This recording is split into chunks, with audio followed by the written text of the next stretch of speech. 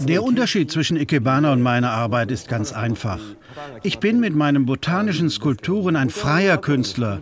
Ikebana ist sehr, sehr formell, richtet sich nach Traditionen. Für mich sind Pflanzen dagegen ein Spiegel der Welt.